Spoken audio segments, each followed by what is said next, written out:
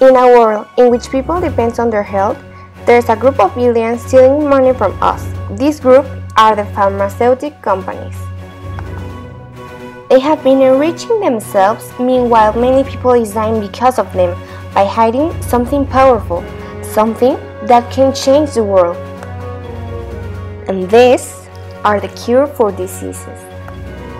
Many cures have been discovered through the pass of time and the pharma companies have been ignoring and hiding them from us. Why? Well, it's very simple.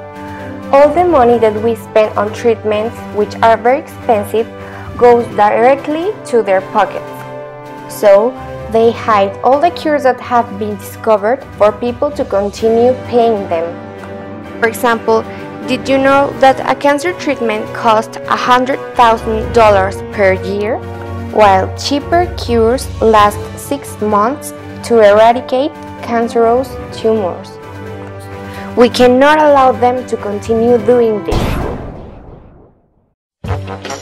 So here we are, Health Heroes Organization. It's a campaign that works for people to know about these cures and the frauds that the pharma companies are causing. Our job is to inform people around us about what's happening because an informed society cannot be controlled anymore. You can be a health hero too, just follow the few steps. First, get informed about what's happening around you. Then, look for designers that can help you to create posters. You can also ask for advices for creating your own publicity. Start creating your own posters and flyers. Also, create your own page in a social network.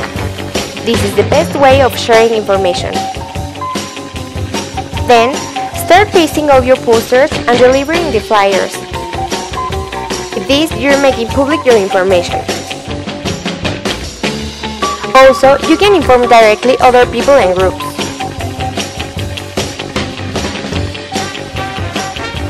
For finishing, create groups that support your ideas and then each of them can repeat the same process.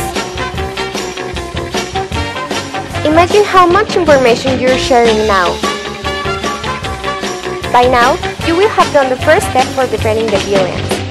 Now we have to demand what it belongs to us.